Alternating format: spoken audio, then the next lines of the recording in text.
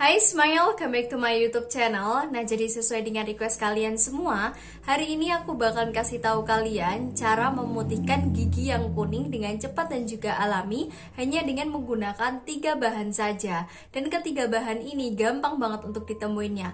Kalian bisa langsung aja dapetin ketiga bahan ini di rumah kalian. Dan selain itu juga untuk cara pembuatan dan juga cara pengaplikasiannya sendiri pun sangat mudah.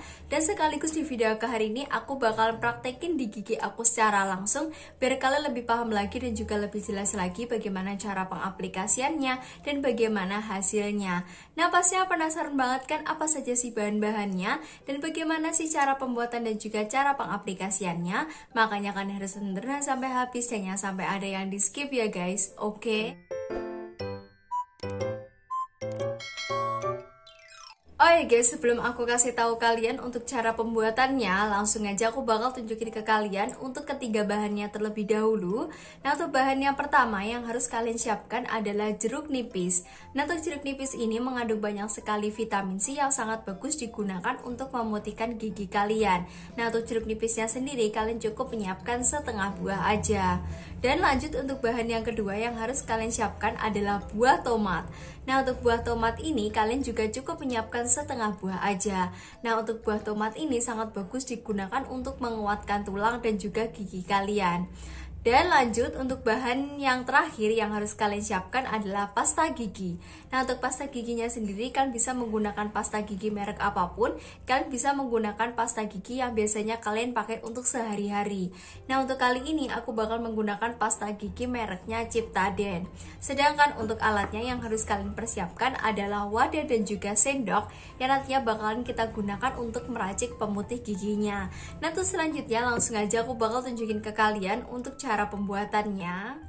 Nah untuk cara pembuatannya sendiri pun sangat gampang dan juga simple banget. Oke langsung aja aku bakalan kasih tahu. Jadi caranya itu tinggal kalian campurkan aja ketiga bahan tadi.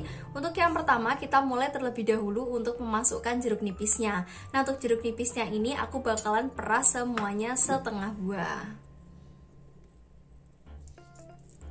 Oke, jika sudah, kemudian tinggal kita tambahkan aja untuk buah tomat. Nah, untuk tomatnya ini kalian ambil untuk air tomatnya aja. Kita masukkan. Nah, jika sudah, kemudian langsung aja kita masukkan untuk pasta giginya. Nah, kalau pasta giginya ini secukupnya saja, aku bakalan ambil kurang lebih sekitar setengah sendok teh aja. Oke, jika sudah, kemudian langsung aja kita aduk-aduk hingga ketiga bahan ini tercampur rata. Nah, jika ketiga bahannya ini sudah tercampur rata, nanti hasilnya itu bakalan jadi seperti ini. Nah, jika sudah seperti ini, kemudian langsung aja kita aplikasikan merata di seluruh gigi kita. Benar-benar gampang banget kan? Dan untuk cara pengaplikasiannya sendiri pun juga masih sama seperti kalian menggosok gigi kalian pada umumnya. Jadi tinggal kalian celupkan aja untuk sikat giginya ke ramuan pemutih tadi, kemudian langsung aja kalian gosok-gosokkan merata di sela-sela gigi yang terdalam sampai yang terluar selama kurang lebih 3 menitan gitu. Jika sudah, kemudian langsung aja kalian kumur dengan menggunakan air bersih. Oke, langsung aja aku bakalan aplikasikan.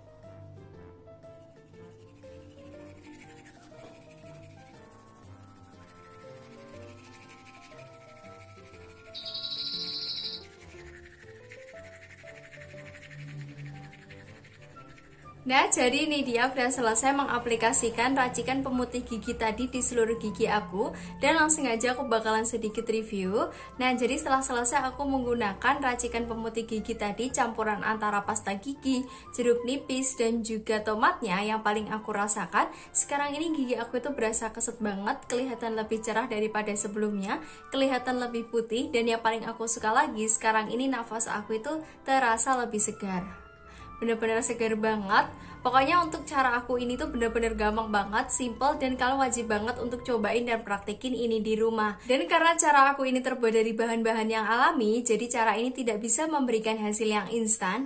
Kan harus rutin dan juga telaten dalam menggunakannya. Dalam satu minggu kalian bisa menggunakan cara aku ini 2-3 kali aja.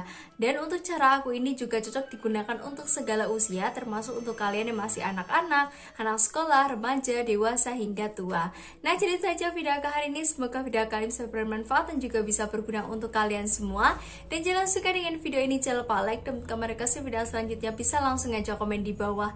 Dan jangan lupa juga share ke teman-teman kalian yang sebanyak-banyaknya dan jangan lupa juga subscribe channel aku ini ya guys. Tunggu video selanjutnya. Thank you for watching. Bye bye.